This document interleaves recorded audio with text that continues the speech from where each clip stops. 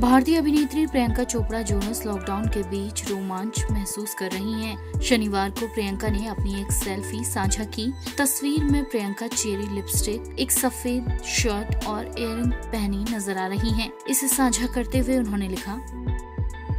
प्रियंका ने हाल ही में अपने वर्क फ्रॉम होम लुक को भी साझा किया था काम की बात करें तो प्रियंका हमें राजकुमार राव के साथ नेटफ्लिक्स की आगामी फ़िल्म द व्हाइट टाइगर में नज़र आएँगी